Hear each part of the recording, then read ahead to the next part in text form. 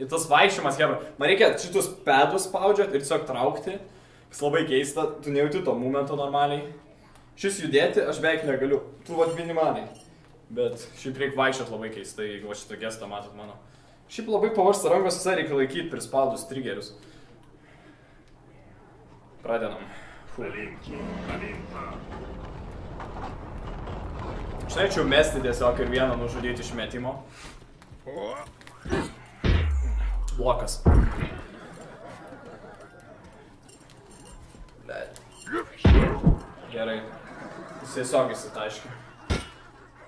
Jabra, paklausinėkit gintarės kažko ar kar, kokių gėjimų, jei čia nėra ką veikti ten nuodų. Ok, jis tikrai miręs. Wow, čia irgi iš jėgos gali trenkti. Visai efektyviai. Gerai, reikia greičiau dabaigti vieną po kito. Sunkiausia dalis prieiti, žinokit, rimtai. Atsargiai sieną. Sieną visą. Sien- jo, jo. Dabar gerai, centre.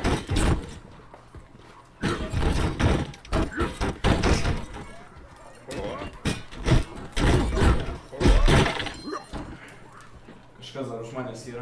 Tam aš tik kumštį turiu. Fuck. Pala. Atsargiai jau. Atsargiai lempa.